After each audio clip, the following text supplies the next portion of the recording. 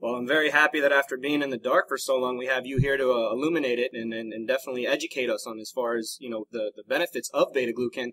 And I know you touched on this earlier, but it's it's a question that we definitely get uh, time and time again. Will beta glucan overstimulate the immune system? Well, the, again, the simple answer is no.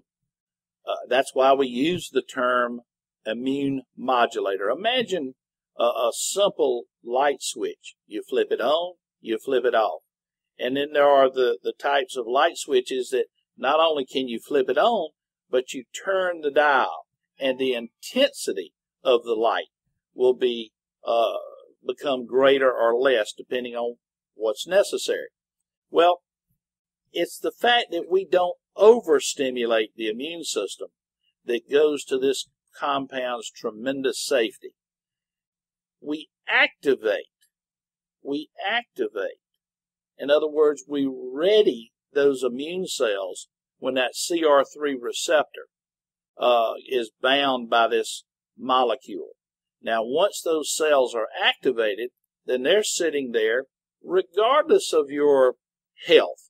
And I want to emphasize at this point, you don't have to have anything wrong with you to benefit from the use of this compound. In fact, maintenance of good health is one of the primary uh, reasons people use this compound every day at a relatively low dose, say one milligram, two milligrams per kilo of body weight.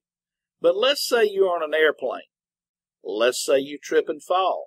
Let's say you go to the dentist for having a wisdom tooth pulled.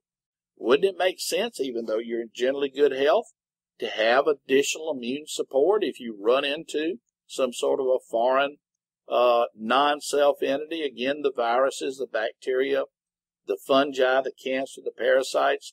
It's the presence of the non-self entity that is the secondary signal that these immune system cells require to actually get involved in the fight.